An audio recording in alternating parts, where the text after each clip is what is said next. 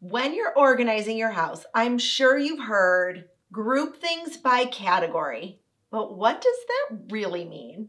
Well, in this video, I'm going to break down pretty much every single category in your entire home. Why is this important? Well, when you start grouping things into categories, you're going to be able to only keep the things you need, use, and find special. And you are going to be able to limit the amount of extra things you're bringing into your house because you have them grouped in this particular manner. You might have some of these categories inside your house and some of them you might not. I'm just giving you pretty much everything I have seen over the past eight years going into people's houses and now doing virtual organizing. So who am I? I'm Jessica, the Organized Mama, and I help families with organizing tips, tricks, and tutorials everyone can follow. For almost nine years now, I have been supporting families through organizational tutorials, in-home organizing, and virtual organizing. So all of these categories that I see are things that I know at least one person has in their home. I suggest organizing by room. It really helps you kind of stay focused. A lot of us either procrastinate or we find it really hard to focus when we're jumping around from room to room. So by having those four walls be your like boundary, it really helps keep you organizing through the entire process, which is the goal. The goal is not to just bounce around. The goal is to actually organize. So typically for every organizing project, I say start with a room. I typically recommend the bedroom first because there's so much research out there about sleep and your environment where you sleep. So we're going to start with categories in the bedroom. So when you're starting, first you group everything together by category. So what does that even mean? Well, you can break it down like really intense or you can just have it be general. And what I mean by that is you can have clothes. That could be one entire category. Or you can have tank tops and that can be your one category. You can have everything in my closet or you could have just work attire.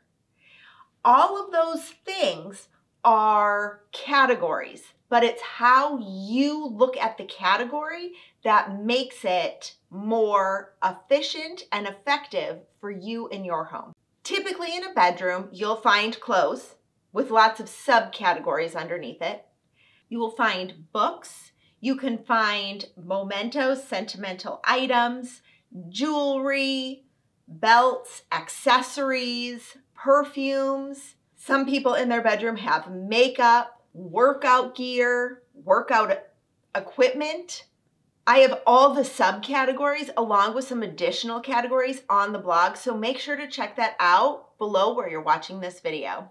Okay, so you have the categories for the bedroom.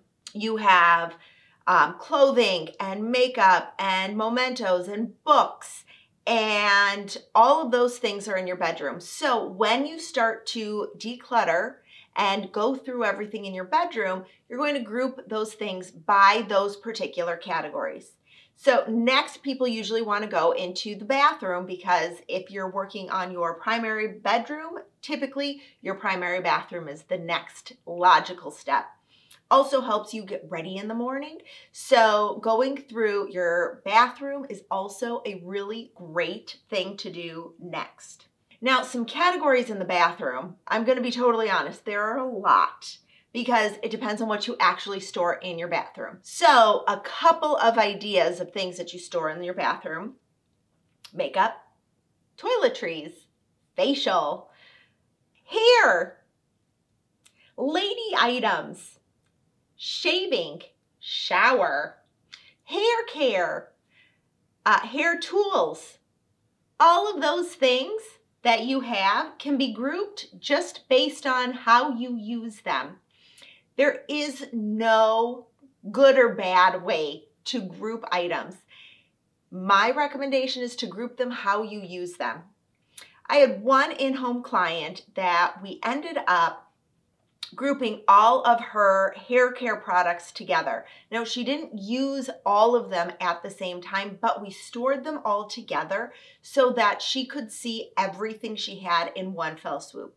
She had a corner cabinet, so we used some round turntable lazy Susan things so she could see everything. And then the extra products of the ones that she was currently using were stored on the side. This way, even though she doesn't use all of the things all the time, she had storage for all of those products and she could easily glance at what she had. Now, I had another client who was a hairdresser, so her products were, she had so many.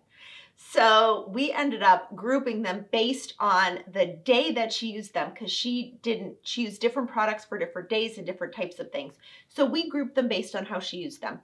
So it depends on you and what works for you. So maybe you want all hair care products together. Maybe you want them based on how you use them. If you style your hair curly, all curly hair products are together. If you straighten your hair, all hair straightening products go together. Maybe your dry shampoos and other, you know, hair maintenance products can all be stored together as well. Maybe you just store everything, eh, including your hair products or tools and maybe you store your hair tools with your hair care products. It just works when it makes sense to you. So don't overthink it and maybe just keep the category really general by calling it hair. In the kitchen, there are so many different categories. So I'm gonna give you some general categories in this. If you want more in depth, make sure to check out the blog. So in the kitchen, we usually have large appliances. Those are things like your crock pots, your rice makers, your air fryers. Then you have small kitchen gadgets, which are things like your immersion blender or your grater. Those things take up a little more space, don't totally fit in a drawer with kitchen utensils, but they still are a category that you need to think about where you're going to store them. Also, you have the obvious categories, silverware plates, cups, water bottles, bowls. Those are obvious categories. But you also have baking. You have pantry items, which you can easily break down into a load of other categories. I suggest paying attention when you're walking around the supermarket See how things are grouped that way, and then organize your pantry similar to how they're grouped at the grocery store. There are also spices. You have extra stuff that, you know, might not fit. Mixing bowls, pots and pans. All of those different categories are in your kitchen. And if you just group the things together based on how you cook, how you use your kitchen, how you bake, then it'll make setting up your kitchen much easier because you have specific contained spaces for everything. Now, I usually do kitchen and dining room together because a lot of things can be stored near each other, by each other, that kind of thing. So with the dining room, you usually have serving plates, serving platters, china, um, teacups, maybe you have, you know, cloth napkins, tablecloths, all of those things stored together or apart based on how you use them. For us, we use our fine china, that's our everyday plates. They can go in the dishwasher, they are amazing for all of that. And we use some of our serving platters as trays to kind of contain things around the house. This way, everything is being used and is very thoughtful. I had a virtual client recently who had so many serving platters, had five sets of fine china, two from her grandparents, two from her husband's grandparents. She didn't know what to do with all of them. They only used one set, and it was a grandparent set that they loved because it they actually could put it in the dishwasher. So they ended up using that as their main set and then the rest, they saved a couple of pieces, gave the rest to family, donated it. But now they are using their items far more because they were really thoughtful about their china. So just a total aside on fine china because I know it takes up a lot of space in your dining room. So maybe think about how else you can show, display, or appreciate that without storing it, you know, in a bag in the basement. The office. Okay, there are so many categories in the office because there's so much stuff that has to be stored there. So we have the obvious paper. Um, you also have office supplies. You might have, you know, tech gear, batteries, cords. All of those different things need places to be stored in the office. So you can get like really specific with how you store them, or you can just store them grouped together based on when you grab things. Um, quite a few years ago, I had a in-home client who they were selling and trading cards. And so we set up an entire shipping station for him so that he was, it was far more effective. So we had bins for all the shipping, um, envelopes, we had all of the mail trackers, we had all of those things compiled together and so we made a shipping station. So we grouped a lot of things that we might have grouped differently because of how he used those items. So think about how you use them. Doesn't always make sense to store stamps over here and envelopes over here if you are selling and mailing things frequently. Maybe create a shipping station, maybe put on a cart, maybe store it all together in a bin, something to keep it all together. It doesn't have to be so broad and keeping things all segmented. If it works better for you to store in one area, put it all together and come up with a creative label for how you use it, like a shipping center. Now, those miscellaneous items, we're gonna cover those because there are always miscellaneous items. We have glass vases, you have random like blankets and throw pillows, holiday decor. All of those things need to be stored in some way that makes sense to you, but they don't always fit nicely into some of the categories we've listed earlier. So in order to really combat the, you know, oh, I'm just gonna dump it all in a bin and call it miscellaneous, think about how you use them. If you use your vases in the kitchen, then create a spot for them in your kitchen. That's now a kitchen category, vases. If you have holiday decor and you want to break it up over many different bins so that you can pull out that bin to decorate for the holiday, that is great. Maybe you have craft supplies. You can organize all the craft supplies based on how you use them or what they are.